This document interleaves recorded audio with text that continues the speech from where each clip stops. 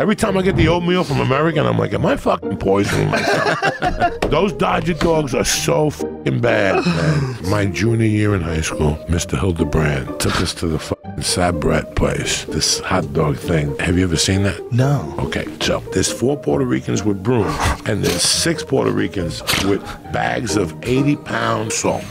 And every once in a while, the light turns red, just body parts start falling. Heads, shoulders, eyeballs, you just see it. And then these guys break the bags of salt and put them on this shit that's falling. Like it's nonstop. Bam! And these guys sweep that into a hole. And that's how the hot dog gets. When somebody gets into a car accident on the 405, what do you think happens to the leg? You think they take it home? F- No. They call Hormel. We got a black leg for you. It's about 300 pounds. Oh, Jesus. I will call you back in five minutes. Then they call White Castle. Listen, we got a deal for you.